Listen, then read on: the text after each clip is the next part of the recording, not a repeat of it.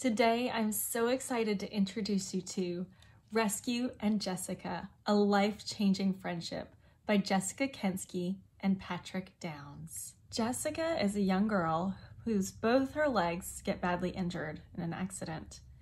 And Rescue is a young dog who's in training to be a seeing eye dog, but his handlers decide that that's not the right place for him, so they decide to train him as a service dog instead. Jessica stays in the hospital for a while and gets stronger. And eventually they say they're going to send her home, but she's had a leg amputated and will need extra assistance. So she gets the service dog, and rescue is the one. One of my favorite aspects of this beautiful story is that it shows you the point of view of Jessica, and then on that very next page, the point of view of rescue.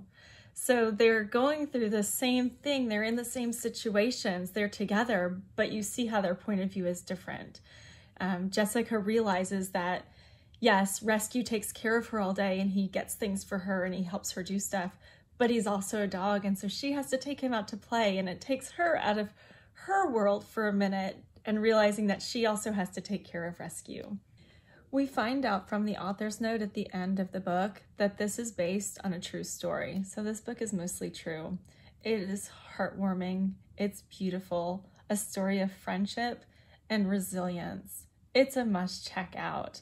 I dare you to read it without getting all of the feels. Rescue and Jessica, A Life-Changing Friendship by Jessica Kensky and Patrick Downes.